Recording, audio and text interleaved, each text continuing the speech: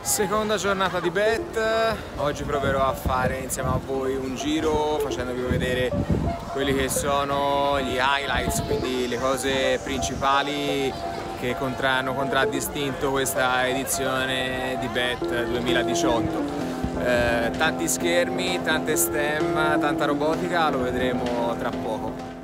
Iniziamo dallo stand Google dove sono state presentate numerose novità eh, parto con una cosa abbastanza particolare, non propriamente made by Google, ma che utilizza eh, Google Classroom. Si tratta di Breakout Edu, è praticamente una sfida eh, con dei lucchetti. La, la, sfida consiste nel eh, fruire di lezioni all'interno di Google Classroom, i ragazzi devono leggere con attenzione tutte le lezioni, tutti i materiali messi a disposizione dall'insegnante per riuscire ad aprire il lucchetto e quindi la scatola. All'interno della scatola non c'è niente, la ricompensa è semplicemente eh, aprire la scatola stessa.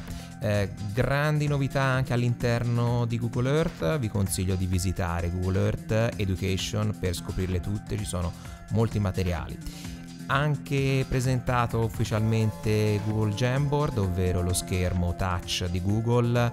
Eh, features veramente impressionanti dal riconoscimento della scrittura, si scrive sullo schermo in maniera veramente naturale, eh, il riconoscimento della scrittura ma anche dei disegni è davvero impressionante, vi posso assicurare che eh, per quanto riguarda la collaborazione e quindi con più persone si tratta di uno strumento eccezionale, purtroppo fuori budget.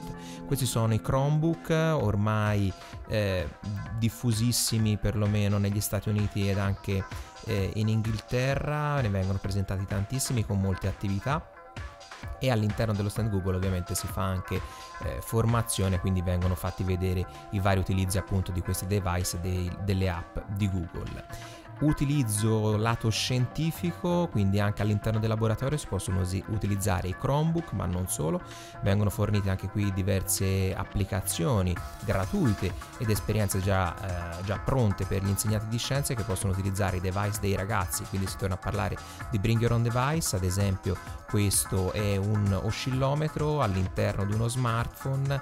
Eh, le applicazioni sono in grado di raccogliere dati scientifici che poi vengono rianalizzati all'interno delle applicazioni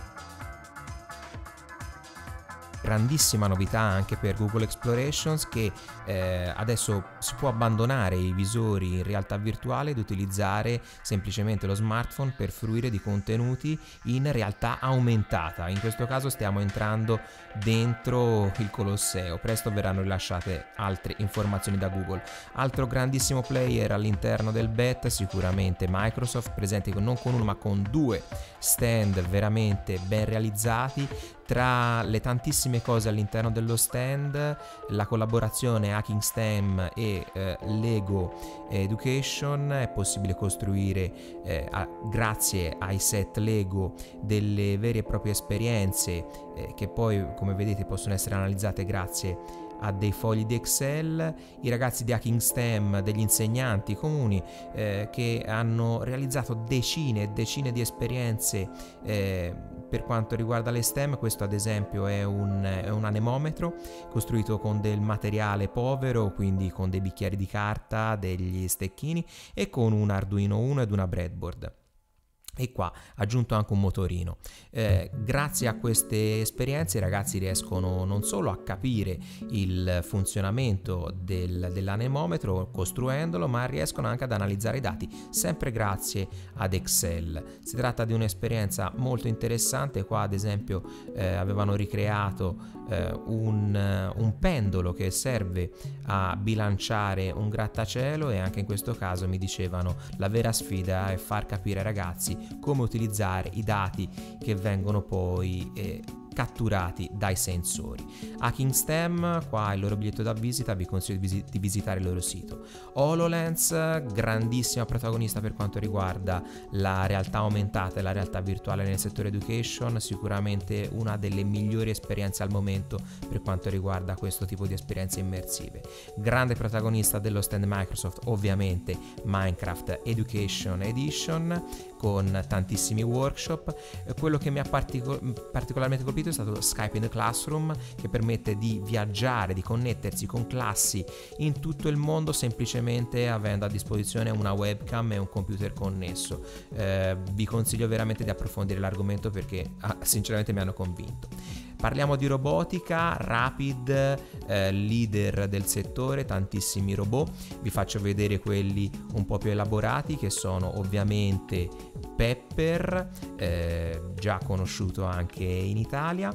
Eh, qua in questo caso eh, non faceva granché, ma ecco questo ciuchino è una novità, eh, riesce a seguirvi in maniera eh, abbastanza precisa grazie alle videocamere che ha negli occhi, veramente molto simpatico, soprattutto per i bambini più piccoli e poi Now che anche noi in Italia conosciamo. Poi tantissimi altri robot, Dash and Dot, robot seguilinea, Ozobot c'è veramente l'imbarazzo della scelta per quanto riguarda i robot educativi.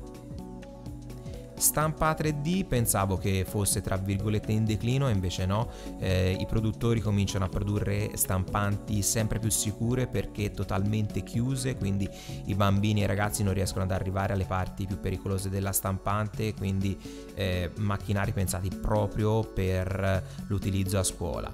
Questo è un braccio robotico che può essere abbinato ad una stampante 3D, può essere abbinato ad un incisore laser, in questo caso eh, viene utilizzato un pennello mh, mm, cinese per scrivere come vedete con inchiostro e la precisione è eh, decisamente pazzesca. Eh, uno dei prodotti da, da, tenere in maggior considerazione che può essere abbinato poi anche a percorsi di eh, industria 4.0 eh, il, robot, il braccio robotico riesce a spostare dei pesi è totalmente programmabile una delle novità più interessanti eh, che eh, ha vinto anche un premio al CES di Los Angeles di quest'anno.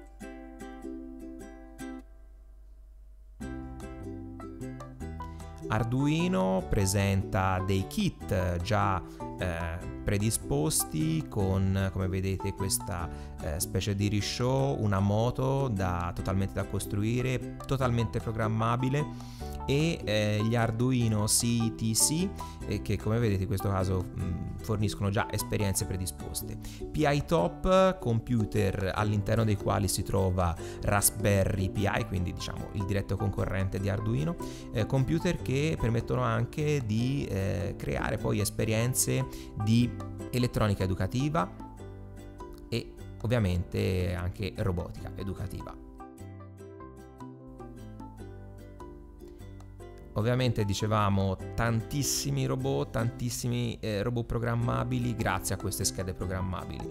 Eh, tra le schede sicuramente vi consiglio di approfondire la conoscenza di Microbit, un progetto tutto inglese a bassissimo costo eh, che permette di realizzare eh, con materiale povero, tinkering, eh, cose veramente veramente interessanti. Qua avevano realizzato addirittura un, un LED wall tutto con con eh, decine di microbit. Sam Labs, eh, novità dello scorso anno, quest'anno si sono veramente allargati tantissimo, eh, hanno creato dei kit eh, e il funzionamento è abbastanza semplice, si tratta di eh, blocchi che si connettono tramite Bluetooth a dei dispositivi, possono essere dei tablet oppure dei computer e eh, permettono poi di creare macchine più o meno, eh, più o meno semplici. Come vedete l'interfaccia di programmazione è eh, la cosa che mi piace di più, veramente innovativa, non ricorda eh, nient'altro al momento presente sul mercato. Eh, I componenti sono tantissimi e eh, così come i kit. Eh, l'anno scorso erano partiti con un kit di base per le macchine semplici, quindi un motorino, delle ruote, eh, questo Curious, Curious Kit. Eh, in realtà adesso si stanno espandendo con il Team Kit e con il Classroom Kit. Sicuramente uno dei big player dei prossimi, dei prossimi anni. La lima è morta? Beh, probabilmente sì, non c'è traccia di lima all'interno dei vari stand, si trovano solamente schermi schermi interattivi, touch, eh, multitouch, quindi che permettono la collaborazione di più persone eh, sulla superficie tattile. Come vedete eh, non c'è traccia di LIM. Lo stand che vedete qui della, della Epson continua a presentare proiettori interattivi, ma eh, sinceramente c'erano solo i loro. Eh, I, gli schermi ormai la fanno da padrone, stanno calando i prezzi e in compenso sta aumentando la definizione stessa degli schermi, si arriva fino al 4K e eh, l'esperienza di utilizzo è sinceramente eh, tutta un'altra storia. Eh, Asus ha presentato tutta una nuova serie di dispositivi per la classe e anche un visore per la realtà aumentata e la realtà virtuale. Ho provato un viaggio con il rover su Marte decisamente interessante. Eh, tra le novità, dicevamo, di questo, di questo bet, questo Chromebook eh, Lenovo E500 che ha dalla sua delle caratteristiche molto interessanti per le classi, una penna già eh, dotata che viene già data in dotazione e che non è abbinabile tramite Bluetooth, funziona direttamente senza fare eh, grandi sforzi e la scrittura sullo schermo è veramente eccezionale. Mi dicevano alla, allo stand Lenovo che hanno, hanno abbinato a questo prodotto le APIs, quindi diciamo i driver della eh, Jamboard, quindi c'è scrittura predittiva, la, la scrittura è veramente molto precisa e piacevole da utilizzare. STEM per i più piccoli, come vedete eh, TTS propone dei grandi classici come le Bebot eh, che adesso sono trasparenti e eh, si può abbinare anche delle action cam. E anche qui la, la robotica a blocchi la fa, la fa, veramente da padrone. Questi blocchi sono programmabili attraverso anche il tablet e ci si può costruire un po' di tutto specialmente eh, piccole macchine molto semplici da comandare. Eh, le STEM il trend di quest'anno è avvicinarsi anche al target 3.6, eh, come vedete in questo caso costruzioni per bambini molto piccole molto piccole alle quali si può abbinare eh, le, le, STEM. Arredi, arredi modulari, sinceramente non tantissima scelta come lo scorso anno, però continuano a fare da padrone gli arredi modulari, arredi che eh, si inseriscono anche all'interno di spazi molto piccoli. Guardate questa eh, agora in, in, tessuto e il, i moduli, insomma, anche a livello di banche e scrivanie. Bene, direi che per eh, questa, questo giro veloce del VET è tutto. Vi ringrazio per essere stati insieme a me in questo giro virtuale spero di trovarvi magari il prossimo anno perché ho tutta l'intenzione di tornare. Un saluto a tutti voi, a presto!